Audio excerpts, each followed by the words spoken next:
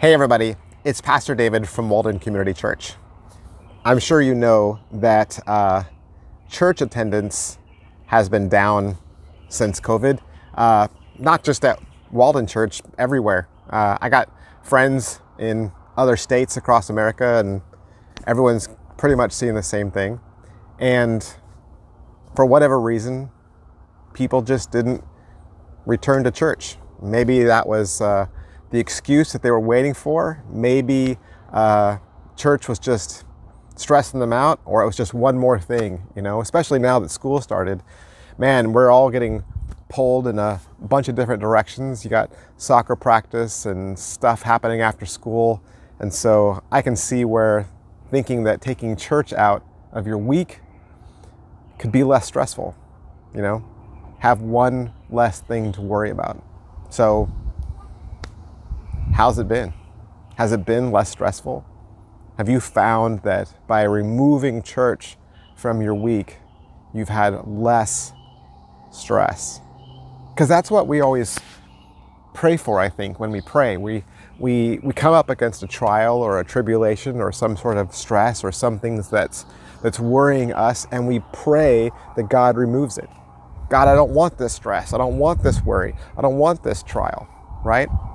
And I'm wondering if that's what God wants. You know, God's a parent.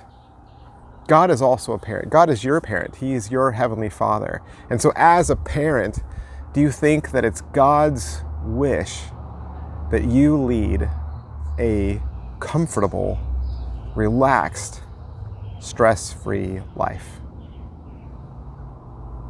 I don't. I don't think it's the best option to always shelter your children and to keep them as safe as possible. I think sometimes trials and problems and struggles are good because those are the things that teach us, those are the things that grow us. See, I don't think God wants me to lead a stress free, problem free, worry free life.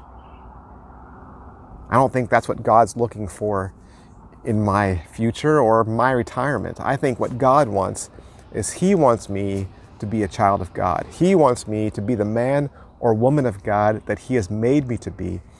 The book of James says that God wants me to be complete, to be mature, and to be lacking in nothing. And that that growth comes through the trials and struggles. So maybe instead of praying against them, we need to pray alongside them and pray not that God removes them, but that we learn from them and we, we become the men and women that God wants us to be.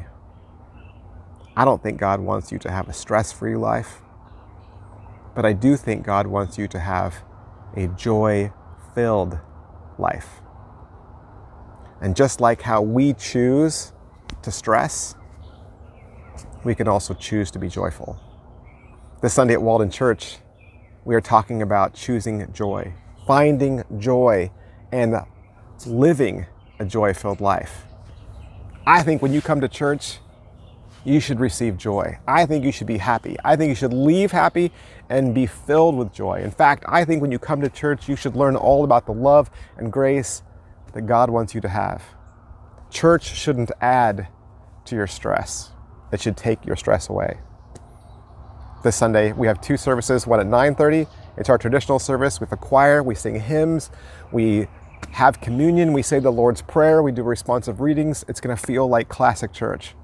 At 11 o'clock, we have a contemporary worship service, and just come however you feel casual. We want to be the church where you live. See you then.